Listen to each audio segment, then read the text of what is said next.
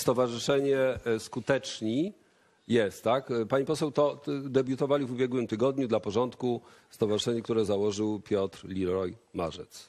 Wszystko się zgadza. Proszę bardzo, pytanie. Pani poseł, na polskiej scenie opozycji politycznej od wolnościowej, demokratycznej, lewicowej obrosło nam jak grzyby po deszczu generałów, tylko żołnierzy nie widzimy. Moim zdaniem jest to kryzys osobowościowy lidera na, po stronie opozycyjnej polskiej sceny politycznej.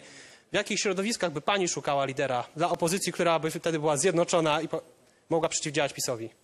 Znaczy, m, ja nie postrzegam Kukiz 15 do końca jak opozycji, ponieważ bardzo często zdarza się albo Kukiz 15 całemu, albo e, jego tym odłamom, które odeszły, głosować dokładnie tak samo jak e, PiS. My to nazywamy tak zwaną opozycją koncesjonowaną, czyli taką połowiczną. Ale ja pytam, w jakich Natomiast- środowiskach pani by szukała? Natomiast e, nie ma czegoś takiego jak jedno środowisko związane z opozycją.